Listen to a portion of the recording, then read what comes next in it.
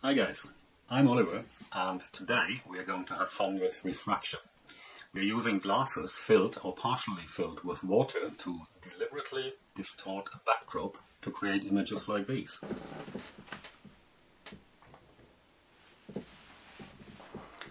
Sounds complicated? It isn't. I'm going to show you.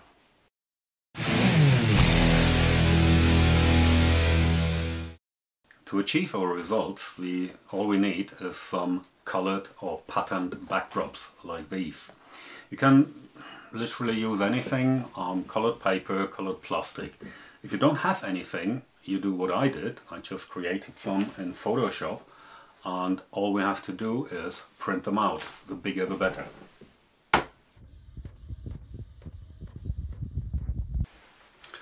Okay, when you've done your backgrounds, you can either pin them on the wall directly or I make myself a little stand here, a piece of cardboard and uh, two paper clips which just makes it easier for me to exchange them and interchange them.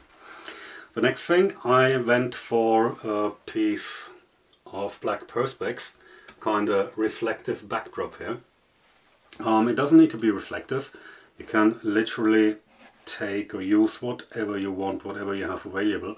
If it's not reflective, just cut the bottom off and uh, nobody ever realizes. Another crucial piece of equipment we need is a glass, either a champagne flute, a wine glass, smaller ones. Martini works pretty well. Um, usually they have a funky shape and make sure they are clean. Well, I'm not the best glass cleaner, but I'll do the best I can. Um, if there are little imperfections in it, well, you should be able to fix them later in Photoshop, but uh, it's just another step you can save yourself. And put it right in the middle of it. And the final ingredient we want is water. But before I pour the water in, I bring the camera in place to show you what's going to happen once we have our glass in position and now it's time to bring some water in and uh, you're gonna see in a second what's happening. Pour it carefully because we don't want to have the bubbles in it. If there are bubbles, not the end of the world, just have to wait until they settle. And uh, you can already see this is the desired effect we want. Just to show you that, because I'm uh, going to use flashes in a moment, but just to show you that it doesn't need to be flashes, I'm just bringing some light in the back with a torch, something like that. So if you do not have a flash, doesn't really matter, you can use a single torch or whatever light source you, uh, you have available. The only thing, just make sure you're not having the light straight on the glass, on the object. These reflections are unwanted. Just bring it on the background, see on the glass, off the glass, on the background and we're taking the first shot. There we go. What I do now, for yeah convenience reasons, I'm gonna put two flashes on top to uh, yeah to, to create the light on the backdrop and uh, this is what I'm doing first now. What I've done, two off-camera flashes, um, yeah, left and right of my subject and we got to be very careful that we are not throwing light straight on the glass. Just what I've demonstrated you right now and all I have to do now is setting the flashes up. Let's start with 1 16th of flash power, f11 125th of a second, flash power that's still way too much. Reducing it even further. Still too much. 13. And we have our first results. Um, good. Now, the variety is we're using different glasses. So let's take that first one off. And simply use a wine glass. Carefully filling this. As you see you can uh, either fill it completely or partially.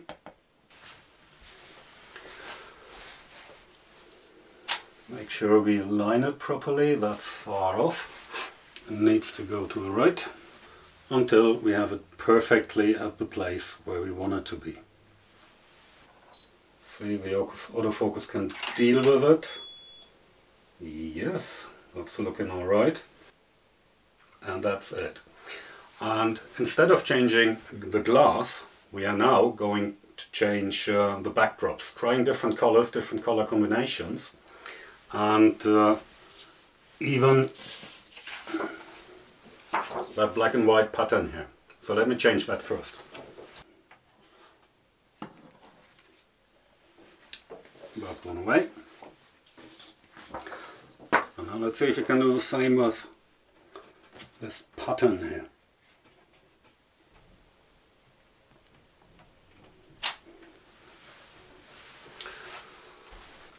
Let's try the autofocus first. There we go. I like the result. And going back to our, our champagne flute.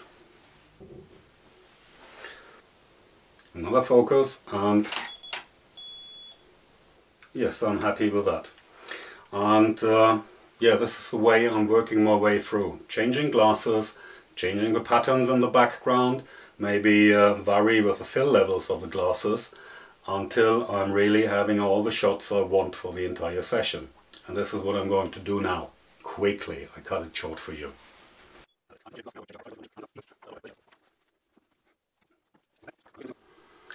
Okay, and I'm done with all the colors and shapes I wanted to do.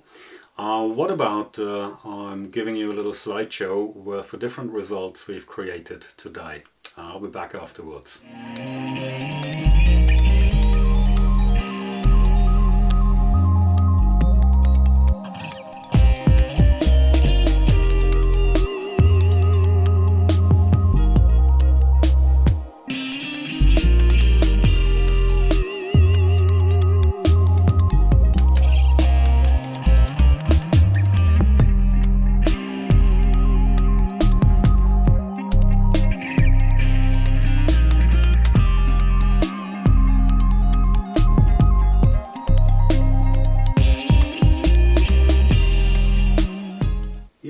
Quite pleased with what I've seen right now. I like these kind of images. Um, the best thing, we did it on a budget. Okay, I spent uh, just a little bit on ink to create the backdrops. If you do have anything ready, you don't even have need to have that. You don't need to have any fancy flashlights. A single torch will do the job, as I've showed you in the beginning. And you can do it with pretty much any camera. SLR with a kit lens does the job. Even a compact camera, perfectly fine. Um, with limitations, you can even do it on a smartphone. The limitation is smartphone usually has a very wide angle lens, so you either have a kind of tailor adapter or you zoom in and uh, having a bigger backdrop certainly helps for that. So really we did it with no investment and I really like creating images on a budget. Um, little summary. Uh, we need to have backdrops, whatever floats your boat, colorful patterns, use what you like. You have glasses in your kitchen and uh, some water.